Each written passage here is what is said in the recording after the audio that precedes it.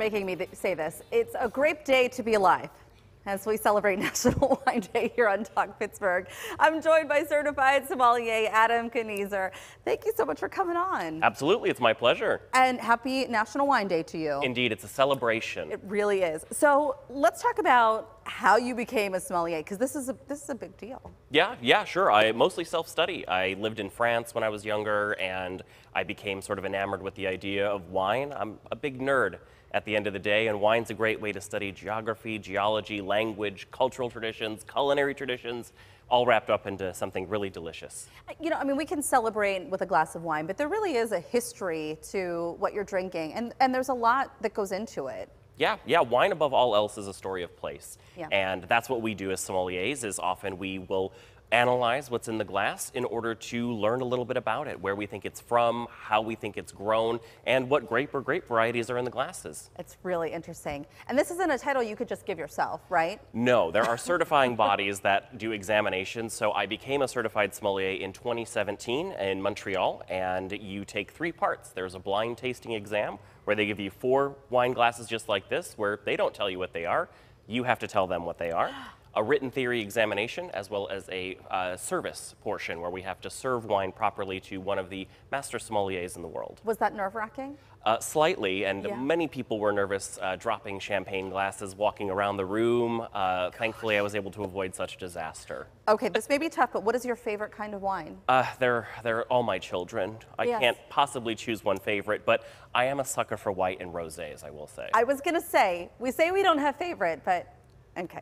All right, so we, you brought some rosé. I did. I brought a rosé from Château des Ferrages in Côte de Provence. Oh. Sounds much nicer in French, right? So It really does. traditional rosé varieties such as Cinsault, Grenache, and a white wine grape called Rolle, which really rolls off the tongue. Gosh, I love hanging out with you. All right, we're gonna try this. Yeah. Tell me, uh, is there a right way? I know that there's like a, you gotta kind of do a little bit of this or no? So there will be a swirl involved, but actually we don't want to start with a swirl because Oh. that artificially amplifies the aromatic intensity of the wine. So we look at it visually to give us clues about what its color and color concentration might tell us. Okay. So we can see we have a very pale, sort of pink, almost salmon type of color in the glass, which as a sommelier, that gives you a clue of, okay, what grape variety or varieties might be here and production method. And how does it get its pink coloring? It's a great question. What most people don't realize is that wine gets its color from the skins. White wines don't have any color because we don't use the skins in winemaking. And so rosés have a minimal amount of skin contact and usually are made from very thin-skinned red grapes, thus imparting a minimal color. You get that little bit of coloring. Yes. Okay, so next we, we've looked at the coloring. Then we smell that. Then but we we, don't swirl yet. Don't we swirl. want to kind of get the aromatic intensity, so we place it toward the center of our chest, and if we can breathe in and smell, we would call that intensely aromatic. But I don't get anything just yet, do you? A little bit, but I swirled.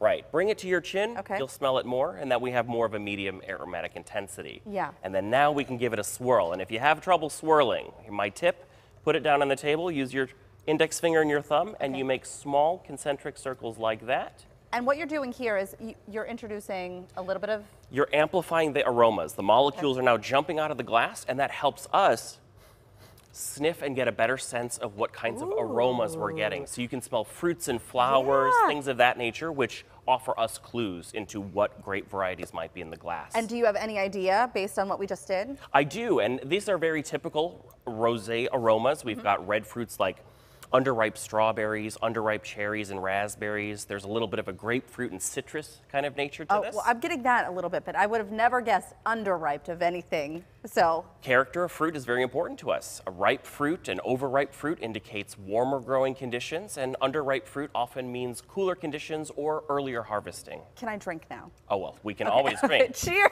Cheers. okay, we're gonna take a sip. Oh, like gargle, like mouthwash. Mm. Okay.